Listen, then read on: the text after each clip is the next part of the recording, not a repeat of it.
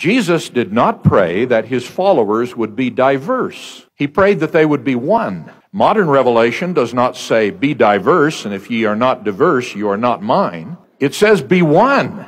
And if ye are not one, ye are not mine. Since diversity is a condition, a method, or a short-term objective, not an ultimate goal. Whenever diversity is urged, it is appropriate to ask, what kind of diversity? Or diversity in what circumstances or condition? Or diversity in furtherance of what goal? This is especially important in our policy debates, which should be conducted not in terms of slogans, but in terms of the goals we seek and the methods or shorter term objectives that will achieve them. Diversity for its own sake is meaningless and can clearly be shown to lead to unacceptable results. For example, if diversity is the underlying goal for a neighborhood, does this mean we should take affirmative action to assure that the neighborhood includes thieves and pedophiles, slaughterhouses and water hazards? Diversity can be a good method to achieve some long-term goal, but public policy discussions